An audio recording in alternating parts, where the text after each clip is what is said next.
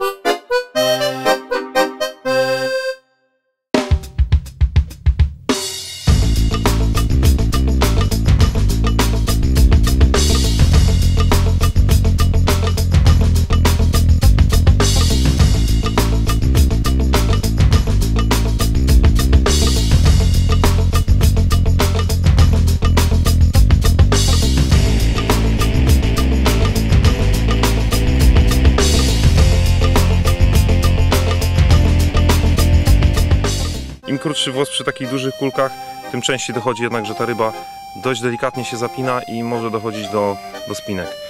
Tak zwany efekt puszkości. Otworzymy puszeczkę, często, często robię to z kulkami, czy to tuńczyk, czy jakiś inny nasz morski pływak. Spójrzmy tutaj, o, wycieczka, tak, A tak, wycieczki mamy... mamy regularne. Jak tu mówiliśmy, e, tutaj kaczki chodzą gęsiego. Ja miałem sam osobiście świetny przykład. Jedyna ryba, którą straciłem właśnie była rybą bez floatingu.